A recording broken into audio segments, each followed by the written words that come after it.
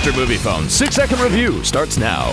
Yo, if you stepped out of mom's basement long enough to check out the Phantom Menace in 3D, you got yourself a one way ticket to Nerd Town. I'm out.